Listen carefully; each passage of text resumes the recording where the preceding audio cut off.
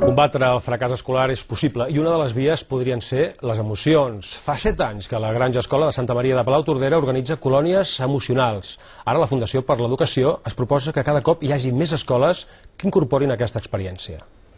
Molt bé, carinyo, que ho estàs aconseguint. Ai, ai, ai. Molt bé, Pol, molt bé. Molt bé. És el pont xinès.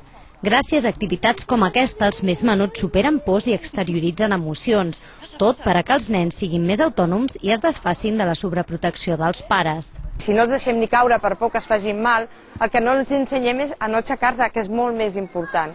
Aquest grup treballarà la motivació. Els d'una barca hauran de rescatar els de l'altra.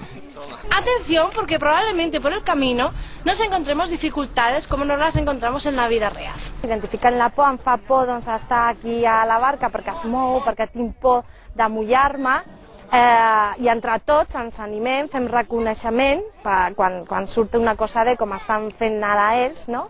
i això ens motiva. Pues que tenia una mica de por però tenia que fer perquè era valenta. Entre tots han de fer rodar la pilota sense que caigui al terra.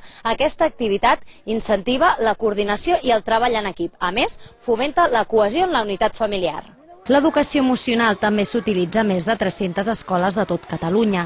Segons els experts, aquests programes ajuden a millorar en un 14% el rendiment dels alumnes, però ha de comptar amb la col·laboració de la família. Els pares tenen l'oportunitat de poder parlar sobre la por, sobre la sorpresa, sobre l'alegria, i no deixa de ser com una educació emocional compartida.